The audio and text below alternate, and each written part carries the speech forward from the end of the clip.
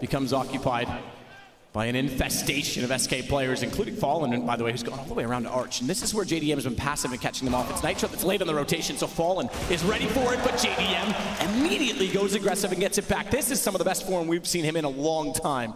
22 kills already for JDM.